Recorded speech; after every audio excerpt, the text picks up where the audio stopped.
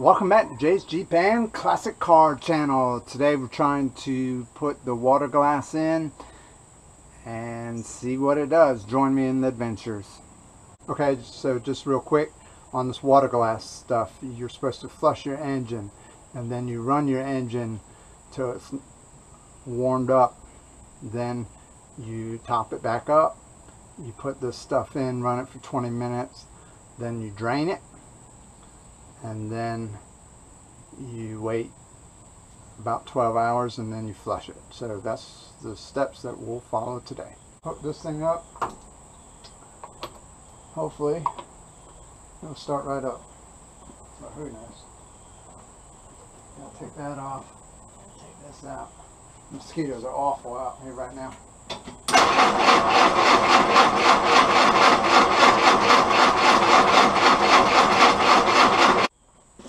Again.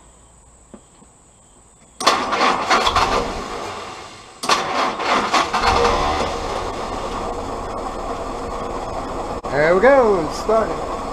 We're at 108 right now, the radiator's at 100 or so.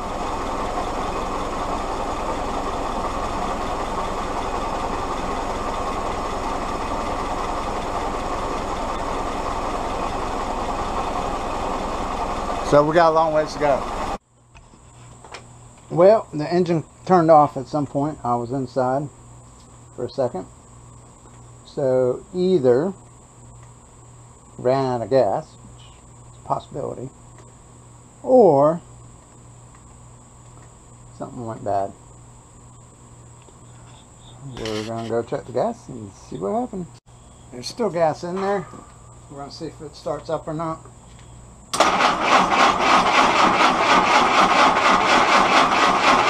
There wasn't a whole lot of gas in there, so I might just need to put some more gas in there. Right, we've checked the oil. We've put some more gas in it. Let's see what we can get. Nada. Let's see if we get anything. If not, we're not getting started. There we go. Guess it just ran out of gas, I'm not sure.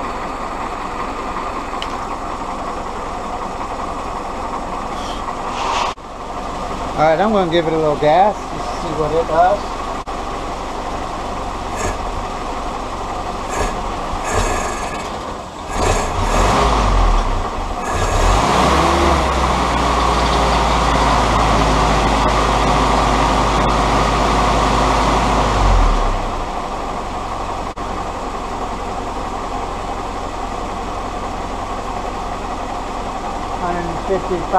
That's really close to what we kind of want.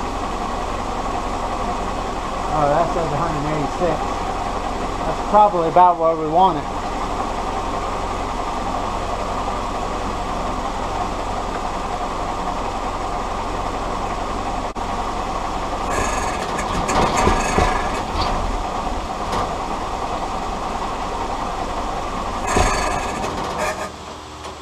So we're going to refill. It being at 186. Water temp is at 130, which is where it has been. There's a ton more oil in here since I put some more oil in. That's not a good sign. Alright, so this bottle treats six gallons. Mine's two gallons. I'm going to put about half of it in and see what we get.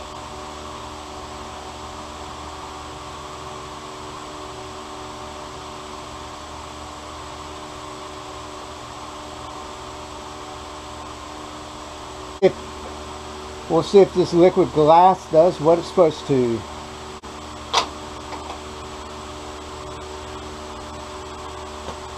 We're going to start it up and run it for at least 20 minutes.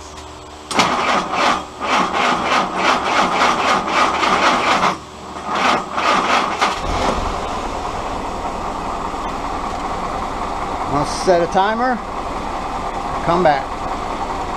Sounds are changing for sure. Hopefully that's a good thing, not a bad thing. Okay, we're about at the 10 minute mark. Still running. I don't know if you can kind of see that or not. Kind of hard to tell what color that is, but we definitely got smoke in the exhaust. So hopefully this stuff will seal it up. Okay, so we're at 20 minutes. Still getting some smoke out of the exhaust. I don't know if that will stop or not. So it says 20 minutes minimum. I guess I can continue to let it run for a little while. It's not overheating, I, I don't think. Not from my temperature measurements at least. So I guess I'll let it run for a little while. Okay, so it's been about 45 minutes. I think I'm to shut it down and let it cool off. See what we get. Still have smoke in my exhaust.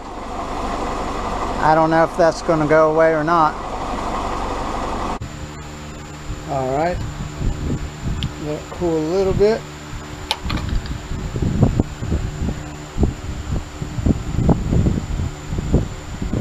Definitely oil in there.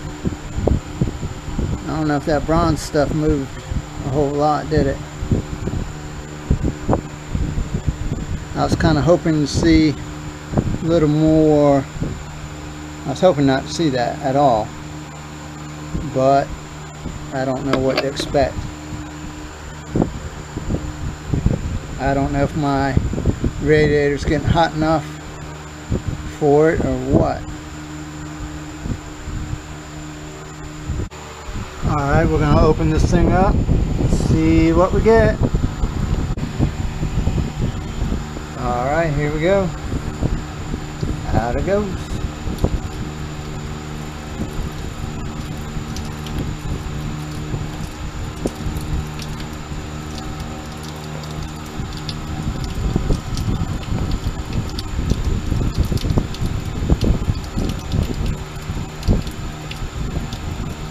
Nothing too spectacular. I guess we'll just let it drain. We're to let it drain and leave it open overnight. We'll take off some of those pipes and then we'll come back tomorrow morning and flush it out real good. So we'll see what happens in the morning. Good night. Alright, it's the next morning and we're going to flush out all that stuff it's supposed to rain today. It's supposed to rain in the next 30 minutes. So we're trying to really hurry to get it at least started somewhat. And I guess we'll just wear a rain jacket to do the rest of it. Now you might be asking, well, why didn't you just replace the head gasket if that's what the problem is? Well, that's a great question. Well, one, I wasn't sure it is the head gasket. It could be a crack somewhere else. Two, I thought this method might be quicker that if it did work, we should be able to work on the carburetor, get all that tuned in, and then be on the road versus doing the head gasket would take take a while I think. Plus I'd have to get parts and all that in. So this was the first step. If it doesn't work we'll go to the next step. So seemed to make sense to me but hey, it is what it is. Alright first thing up we're going to flush the radiator. I have my hose down the radiator. We're just going to turn on a little bit and let it kind of just flow for a little bit.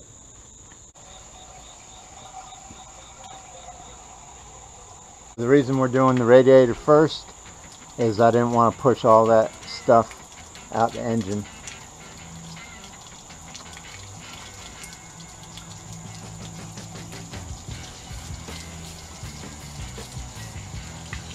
or through the engine but it looks like with the top hose being connected it's flushing out the top end anyway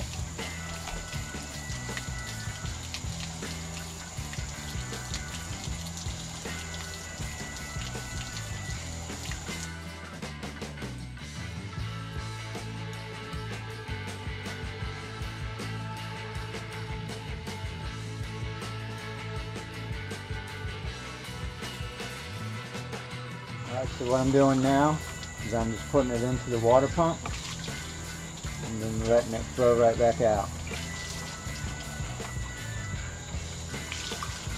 And then some down through the radiator.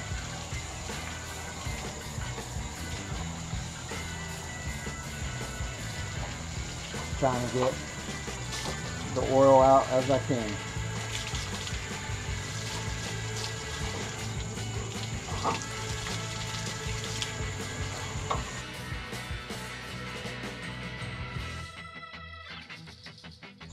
For as much fun as it is playing in the water,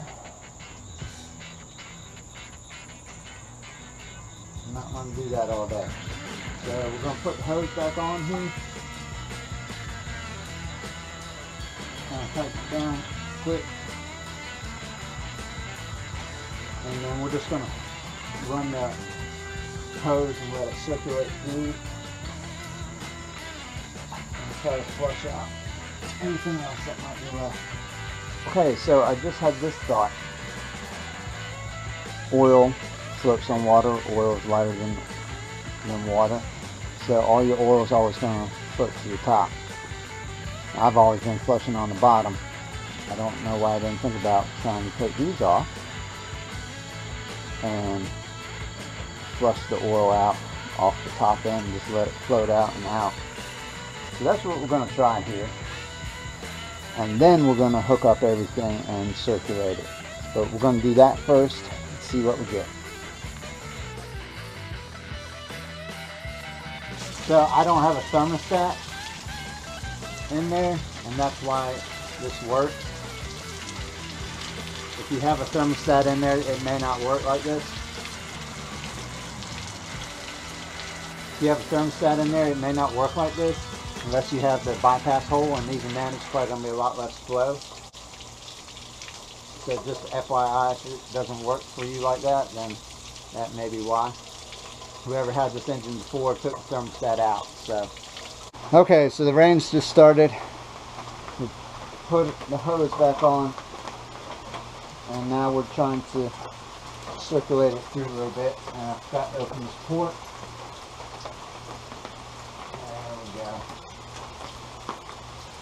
What I wanted to do. Let this go down a little bit. I'm also going to look in there. And while there is some floaties, it's not nearly as bad as it was yesterday.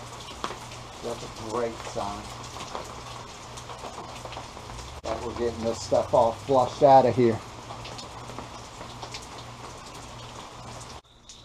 Alright, so we turned the water off. We're just letting it drain down right now. Under that's my voltage regulator. I covered it up trying to keep it a little dry at least. So after it drains down, we're going to do this whole exercise one more time. At least. Well, we'll see what happens with it all. If it holds or if we have to do more work. But that's how the, this adventure goes anyway, it's time to go get dry. I appreciate y'all watching. Y'all take care. It's time for supper.